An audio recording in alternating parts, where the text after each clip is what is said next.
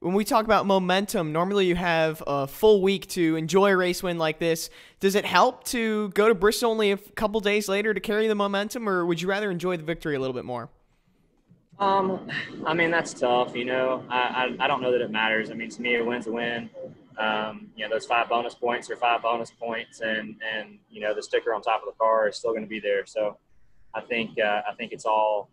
I don't I don't really know that it matters. Um, know, I'm, I'm just excited that we've been performing well, and ultimately, I want to just have a shot to win each each and every week. That's our goal as a team.